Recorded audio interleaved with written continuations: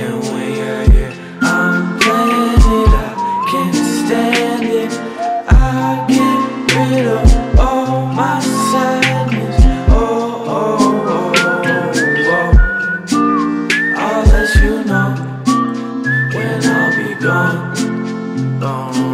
Sending text after text and I leave you on read. Been acting distant, it fucks with your head. Don't get it twisted, babe, she just a friend. Taking it personal, don't understand. Don't take it personal, there's nothing to it. Caught up with myself, I've been going through it. Coping solitude, got that from my dad. Bad at it too, got that shit from my dad. Know you ex lovers and know how they bruised you, they felt.